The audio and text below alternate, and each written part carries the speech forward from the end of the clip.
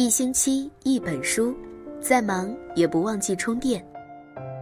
各位晚上好，我是杨洋，很高兴再次遇见你。今天为大家分享的文章是来自鸟老师。结婚以后，你愿意陪我一起吃苦吗？我不愿意。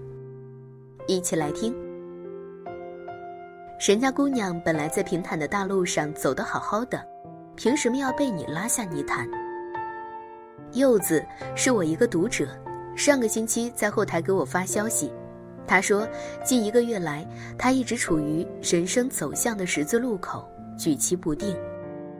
柚子大学毕业后在一线城市工作，去年认识了现在的男友，当时柚子二十七岁，男友三十六岁，在同一个城市工作，谈了一年多，前段时间在考虑结婚的事。柚子说，在恋爱期间。她几乎从不过问男友经济方面的事情，觉得既然他有一份稳定的工作，年薪十几万，算来有经济来源的，这方面应该不成问题。可在两人商量结婚的时候，柚子才了解到，工作十几年，男友几乎没有存款，男友平时花钱也不是特别大方，两个人住在一起，柚子不分你的我的。也拿出自己的工资作为两个人日常生活的开支，那他工资哪儿去了？为什么存不下钱？柚子的男友据实以告，他来自十八线小城的小村，父母老实巴交，靠打零工供他上大学，所以在工作几年之后，他拿出所有的积蓄，以父母的名字给他们在小城的城区买了一套三室两厅的房子。小城的房价不高，柚子的男友是全款买的。我爸妈这么多年不容易，我买套房子给他们养老是应该的。他对柚子说。男友还有一个弟弟，上学时成绩不好，初中毕业就出去打工了。后来有人说媒，一拍即合，当即订婚。当时未过门的弟媳妇就要求，婚后不愿意跟公婆住在一起，要求他家再买房。柚子男友的父母又把期盼的眼神投在了大儿子的身上。你弟弟没什么本事，赚的都是血汗钱，好不容易说了门亲事不能黄了。你是哥哥，工资那么高，你得帮弟弟一把。看着老泪纵横的父母，柚子的男友咬咬牙，以弟弟的名字贷款，在小城又买了一套三居室。毫无疑问，贷款。又是他在还。婚事操办，柚子的男友出钱出力。弟弟结婚之后，先是生了个女儿，再生了个儿子。他们小夫妻在一家工厂做工，俩孩子父母带着。平日小夫妻还去父母那里蹭饭。你弟弟他们工资不高，两个孩子抚养起来吃力。你是哥哥，还没结婚，用钱的地方不多。你能帮衬点儿就帮衬点儿，这是父母的原话。于是柚子的男友又帮衬了，除去贷款，每个月再打给父母几千块作为生活费。柚子的男友是在他向柚子求婚后坦白这一切的。柚子当时就愣住了，柚子问他：“你把一切都给了别人，你拿什么跟我结婚？”想不到男友一听这话就火了，他们是我的父母，是我的弟弟，都是我的家人，不是别人。我对他们好是应该的。男友理直气壮。假如结婚的话，你家出多少彩礼？我们在哪里结婚？房子怎么办？这些都是现实问题。柚子不得不问。现在都什么年代了，还要彩礼？那是卖女儿。咱俩不搞这一套。结婚也简单，咱们暂时先租房子结婚，等我把家里的贷款还掉了，我们就一起存钱买房子。我们俩的工资加起来，没有几年也就能存够首付了，好吗？柚子，我是真心爱你的，结婚以后你愿意陪我一起吃苦吗？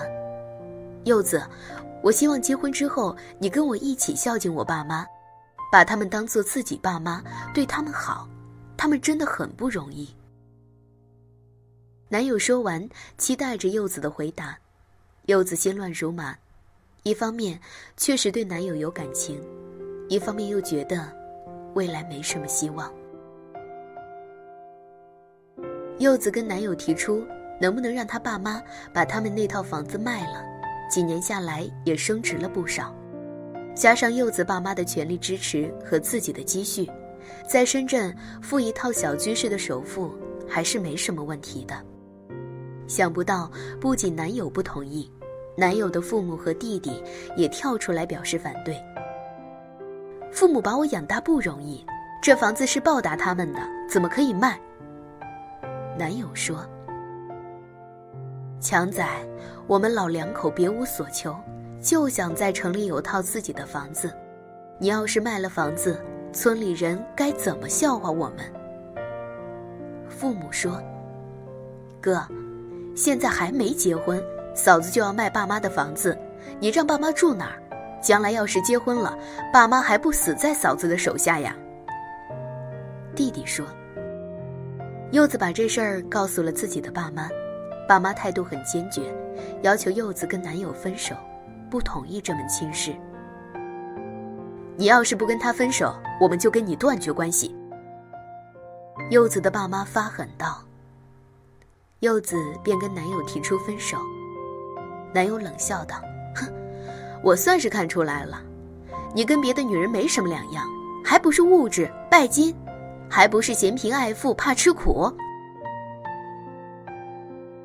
有这么一种歪理，在感情里，一旦因为钱而导致两人的情感有了波动，出了裂痕，那就是女人的错，是女人的贪婪虚荣，是女人的物质，是应该被鄙视的。贤良淑德的女人被设定为从来不爱钱，视金钱如粪土，哪怕一辈子陪着男人吃苦挨穷。也不能有半句怨言，还要打心眼里敬畏丈夫，孝敬公婆，帮衬兄妹，似乎这样的女人，才值得娶回家。事实上，婚姻是两个人的结合，应该是让两个人都过得更好，而不是让人过得越来越差，越来越潦倒。不然，还不如单着。当然，我不是让女人们唯利是图，离开一无所有的男人。有些男人哪怕现在什么都没有，但是有一颗为小家庭奋斗的上进心和责任心，并为之努力，假以时日，随着资本的积累，两个人想要的终究会靠他们的双手创造而得到，会过上属于自己的小日子。而柚子是什么样的情况呢？男友的家庭一直在拖着她。公婆和弟弟张着嘴巴，随时开口向男友索取，理所当然。男友也丝毫不为自己打算，不为自己未来的老婆孩子、小家庭打算，心甘情愿的一直在无私奉献，并且还要求柚子将来跟他一起承受大家庭的负担。柚子也是被爸妈从小一直宠到大的，经济独立，性格温和。爸妈小心呵护她，沐浴着阳光长大的，凭什么跟你在一起之后要经受狂风暴雨？沈家姑娘本来在平坦的大路上走得好好的，凭什么要被你拉下泥潭？我跟柚子说，假设一下，你跟这样的男友结婚了，你将来过的什么日子？别管结婚前是什么样的山盟海誓。闹完洞房，关上门，你的失落感就会油然而生。第二天早上，太阳一升起，就只剩下柴米油盐酱醋茶，和这个每月还完房贷、抚养老家人之后一分钱不剩的人厮守，这是你的人生。在陌生的城市打拼，住在出租房里，什么时候才能有真正的家？夜深人静之时，一定没什么归属感吧？没有房子，就不敢怀孕生娃。一旦生了娃，吃喝拉撒睡病学，到处得花钱。请问，哪有多余的钱？孩子渐渐长大，当那些同龄人在双语重点幼儿园读英语、学钢琴的时候，你的孩子可能跟你抱怨，你不给他买一台学习机。还有，你还敢旅行、购物、化妆，孝敬自己爸妈吗？你要管男人的工资，男人不允许。我的工资我做主，我的老家人我不能不管。你要男人放弃替弟弟还房贷，男人不肯。他是我弟弟，我唯一的弟弟。等到房贷还完了，你再想，这下该给咱们家存钱了吧？可老家又有事情了，小叔子要买车子，小叔子想开店，侄子侄女的择校费，双亲的养老保险，七大姑八大姨的借钱，你不肯，又哭又闹，男人几句话就把你打趴下。我是老家唯一的大学生，老家人不指望我，还指望谁？你看，在男人心里，八竿子打不着的亲戚都比你重要。可怜你用自己的工资维持着小家庭的生活，你的爸妈还得跟着后面补贴，请问你乐意吗？其实，女人不怕和男人挨穷，就怕和男人挨穷挨得没希望，得挨一辈子，看不到未来，这才是令人绝望的。婚后流的泪是女人嫁错人脑子进的水，我看过不少案例。无数原本开明的父母对自己女儿的婚姻横加阻拦，原因就在这里。试想一下，你有一个养了二十多年如花似玉的姑娘，你舍得她跟一个一穷二白的男人去住出租屋？所以，那些要求女孩子婚后跟他一起吃苦的男人们，醒醒吧，别玩道德绑架了好吗？你弱，你有理。人家姑娘本来可以品尝夜的巴黎，踏过下雪的北极，却只能跟你窝在家里做小伏低。当你们一家人满意的席，这就是你的爱情真理，姑娘。一个真正爱你的男人，是舍不得让自己心爱的女人一直吃苦的，苦一时可以，苦一辈子不行。最后，我想对柚子们说：当一个男人理直气壮地问你。结婚以后，你愿意陪我一起吃苦吗？请你们告诉他，我不愿意。今天的文章就分享到这里了，喜欢这篇文章，记得帮我们点赞或转发哟。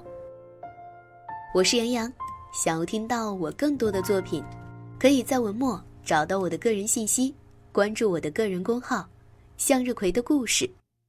我是杨洋，期待与你。再次相遇，晚安。